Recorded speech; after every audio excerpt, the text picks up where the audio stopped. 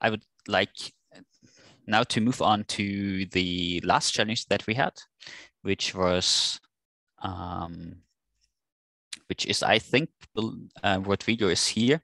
So he can tell us more about the um, 4D LiDAR panoptic segmentation challenge. Okay, so welcome to this, my small talk on how we solve this task with our approach, contrastive instance associations for, for the panoptic segmentation. So let's begin. So let's start with the task definition, which is basically to perform on a sequence of scans, semantic segmentation, and instance segmentation. This is what we call panoptic segmentation. And the idea is that the instances of the, the ID of the instances should be consistent over time. This is why it's 4D. So uh, let's go on our overview of our approach. So we take as input uh, the 3D LiDAR scan, and we uh, apply a panoptic segmentation backbone to obtain the panoptic segmentation, and which is basically for each point a semantic class and an instance ID. We also will leverage the point-wise features from the feature extractor. So basically, we are doing tracking by detection kind of thing. So it's first performing a single scan segmentation plus uh, an association scan. So we first select using the instance prediction from the backbone. We select the points depicting each instance and their features and use our network, our contrastive aggregation network to get a single instance-wise feature. Once we have this feature, we want to associate them, associate each instance over time using this feature with our association module. Then this way, the ID of the instances will be consistent over time. And using also the semantic predictions from the backbone, we can get our segmented scan with, again, IDs that are consistent over time. So let's dive into the contrastive aggregation network, which is the core that takes the points, so the points depicting one instance and their feature and its features, and allows us to get a single instance feature.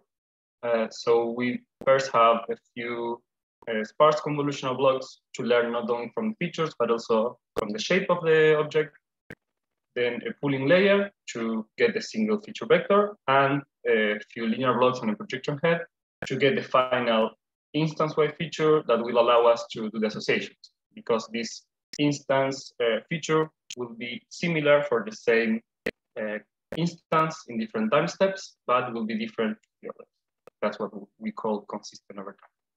So why contrastive is because we and basically by our approach in contrastive learning, which in the self-supervised setup um, or unsupervised setup is the idea is to compare an anchor with negative samples. And these samples are usually obtained through augmentations.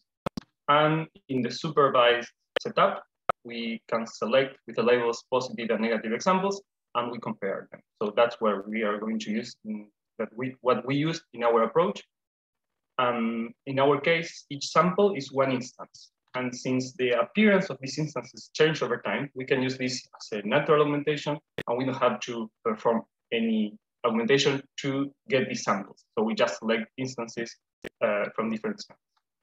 So the positive samples are the same instance in different time steps in a temporal sequence of scans, and the negatives are all the rest of the all the other instances in the same scan in the other scans in the same sequence and in other sequences of scan in the same batch. So this way we, we use a lot of negative samples, which is uh, very beneficial for contrastive uh, learning. However, there are, since we are using the features from a panoptic segmentation network, we have the challenge, which is that these features are usually similar for instances from the same semantic class, because then the semantic and the instance head will be the one, so the, maybe the instance head will be the one that gets a, a, a different feature for each one of them. So, and this way we cannot use straight this feature for association and showing this histogram in which we compute the mean feature.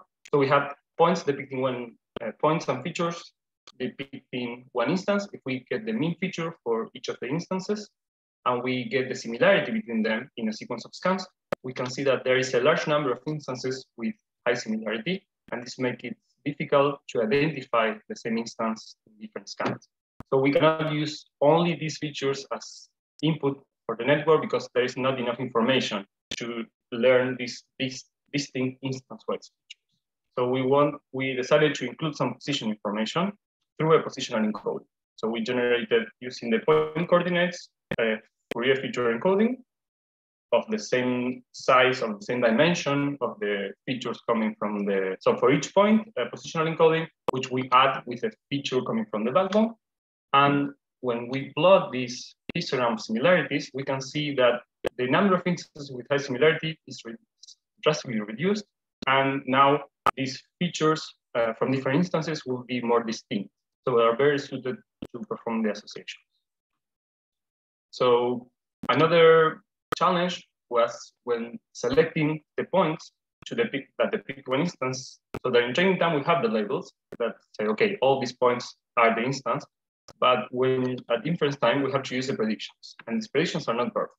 So what what happens in the end is that we have different inputs. When we train with the labels, then this is not uh, applicable at inference time. So one small example is here we have three instances. The first one on the bottom right is like perfect instance because all the points that depict this instance uh, are all correctly selected. In the second case, this instance is split in two because there is a imperfect clustering in the backbone to obtain this instance prediction. And then divide, uh, that divides this instance into two smaller ones. And the third case is an incomplete instance because some of the points uh, get the wrong semantic class and then they are not so usually at the borders, and they are not considered during the clustering step, and then they are missed. So what we decided to do in order to emulate what happens at inference time is to generate two augmentations. The first one is the contour augmentations, in which we drop points at the borders by normalizing the coordinates, for example, between uh, minus one and one, and only keeping points within a range, uh, like zero, six, for example, and then dropping the rest.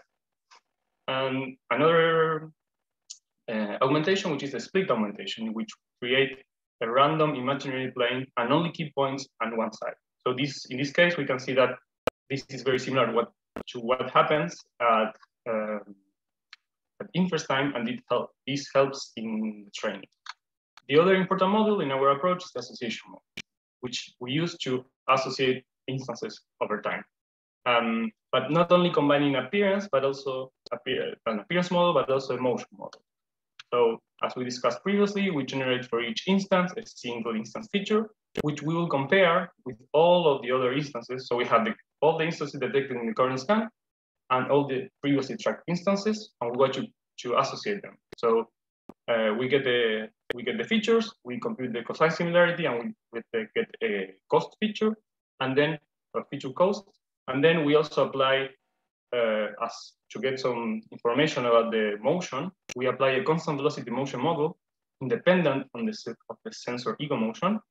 And then we can get a linear combination of the, of the feature cost and the center distance between the, all the current instances and the previously and the predicted positions of the of all previously tracked instances.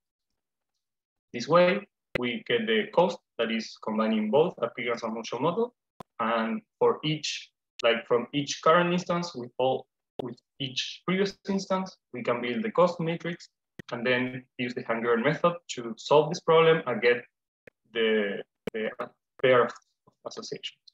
So when talking about the positional encoding and the motion model, both so far rely on the coordinates of the points. And if we use only local coordinates, the positions of the instances or the points are not consistent over time and the ego motion should be compensated. For example, if we have a sequence of four scans, we can see that the non-moving uh, or static instances, which are parked cars, appear to move sideways, and actually the moving object, which is in front, which is moving on the same speed as the car, appears to be static. If instead we add um, the sensor pose estimate using the SLAM approach, we can see that actually the static or non-moving objects remain static, and we can see how, yeah, the, the moving object is, we can actually see that it's moving. So what we do is we apply um, this correction using the SLAM approach to get consistent poses. And we recompute the features for all previously tracked instances by updating the positional encoding and then using our network. So the we the, there is our results are shown in this table. We can see that we improved around three percent points in the LiDAR segmentation and tracking quality without including this pose information. And when including this, we improve even three percent points for more. Um, is, yeah, we should notice that since we are using a single scan panoptic segmentation backbone, uh, this pose information does not change the semantic segmentation performance. As we can see that the numbers are the same. Here is a, also a short video of the instance segmentation, which has consistent IDs over time. Basically, the colors are consistent over time. And yeah, not only for static, but also for moving objects. Uh, yeah, this is apart, this is the instance segmentation with consistent IDs, apart from, and the other thing to show will be the semantic segmentation.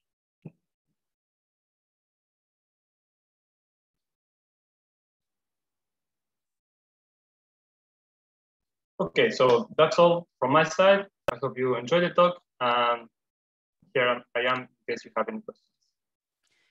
Yeah, thanks a lot for your talk and congratulations to, to winning this challenge.